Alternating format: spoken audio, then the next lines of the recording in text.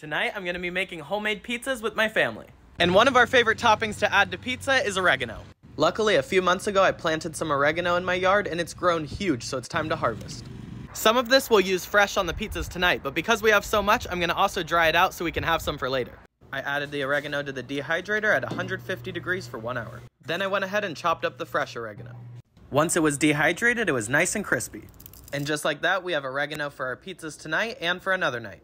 The fresh oregano is something you want to add to your pizza after it's done cooking because if you add it before, it's going to burn up in the pizza oven. But the dried oregano is something you want to add on before you cook it. That way it infuses with all the ingredients when they all melt together. Once I was done making my pizza, I topped it with some dried oregano. Then it was ready to go into the pizza oven.